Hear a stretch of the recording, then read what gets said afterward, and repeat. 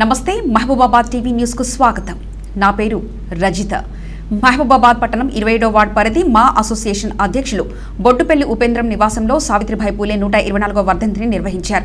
కార్యక్రమానికి ముఖ్య అతిథిగా పురపాలక సంఘం ఉపాధ్యక్షులు ఎండి ఫరీద్ హాజరయ్యారు. సావిత్రిబాయి పూలే చిత్రపటానికి బొడ్డుపల్లి కుటుంబీకులతో కలిసి పూలమాలలు వేసి ఘనంగా నివాళులర్పించారు. ఈ సందర్భంగా ఫరీద్ మాట్లాడారు. భారతదేశ చరిత్రలోనే సామాజిక విప్లవకారునిగా ఘనతకెక్కిన జ్యోతిబా పూలే సతీమణి సావిత్రిబాయి పూలే అన్నారు.